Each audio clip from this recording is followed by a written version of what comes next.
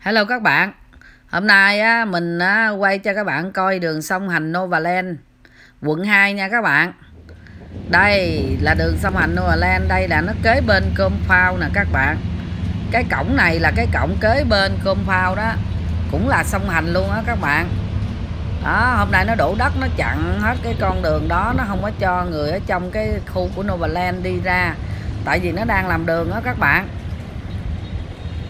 nó lên làm đường đây. Còn đây á là coi như á là nó chặn mấy cái cục mà um, cục à, đá để cho xe tải nó khỏi vô á tại vì nó đang làm á.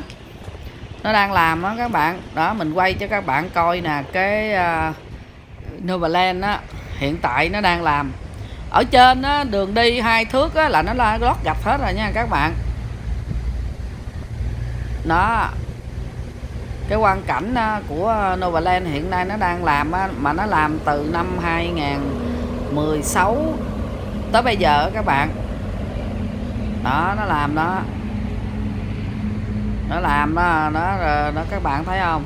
Điện á, là cục điện nó làm á, là năng lượng mặt trời đó các bạn. Đây là cái cổng đường T. Đường T mà ở trong khu biệt thự với căn nhà shop house á là đường này cái sau này nó mở mà để nó quẹo vô. Nó quẹo vô cái khu đường T.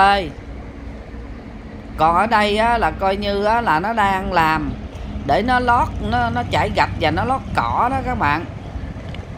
À, ở đây á, là coi như á, là nhà cửa người ta đã 80 phần trăm người ta đã nhận nhà rồi đó nha các bạn. Chỉ có 20 phần trăm là coi như người ta mua bán qua lại người ta chưa có nhận nhà thôi. Còn 80 phần trăm có khoảng chừng mấy căn hộ á, nó đã làm là nó vô nó ở rồi. Cái con đường sông hành này á là coi như á, mai mốt mà các bạn á, mà coi như nó mở ra đó là từ ở quận 2 nó về á, là coi như đổ xương hợp quận 9 luôn. Quẹo phải là quẹo phải á, là đi á, là coi như quận 2 còn quẹo trái là đi thẳng về quận 9 đường đổ xương hợp á các bạn. Đó dự án của nó là cũng sắp xong rồi đó các bạn cái nền hai hai hai thước này á là người để cho người ta đi lên còn kế bên của nó là nó chảy cỏ đó các bạn. Mai mốt mà nó mở cái này lên là rất là đẹp. Còn cái này cái cổng này á, là cái cổng Novaland này là cái cổng kế compound. Kế của compound mai mốt compound á một cái nó đi đường ra đường Nguyễn Duy Trinh một cái á, nó đi về à, à, sông Hành vẫn được luôn á các bạn thì tới đây á, là coi như á, mình giới thiệu tới đó thôi. Khi nào có gì cái gì hay mình ấy.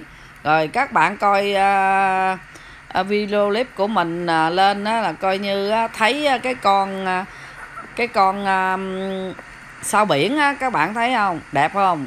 Các bạn á, cho mình một cái like nha. Rồi mình xin chào các bạn dịp khác á, mình sẽ quay cho các bạn coi á, là coi như bên trong tòa nhà của No và Len luôn. Mình đã nhận rồi mình cũng có một cái trong đó mình cũng đã nhận rồi. Rồi mình sẽ lên mình cho các bạn coi cái video clip này. Rồi hôm nay mình chào các bạn nha. Bye các bạn.